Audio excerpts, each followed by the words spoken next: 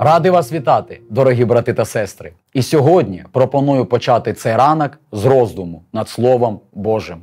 У книзі чисел, 23 розділ, 23 вірш написано: адже немає сили закляття над Яковом, ні чаклування над Ізраїлем.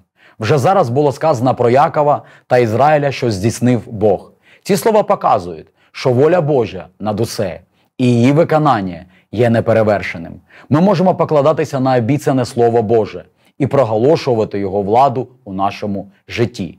Подібно до того, як Ізраїль став об'єктом Божої уваги та благословіння, ми, його діти, через жертву Ісуса Христа, також маємо переконання, що Господь оберігає нас і дбає про кожного з нас.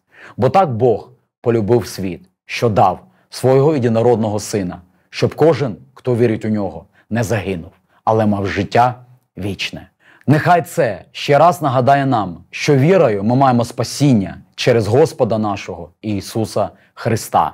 Та в заключення хочу побажати кожному з вас, щоб віра в Божу благодать наповнила ваші серця надією, миром та радістю. Амінь.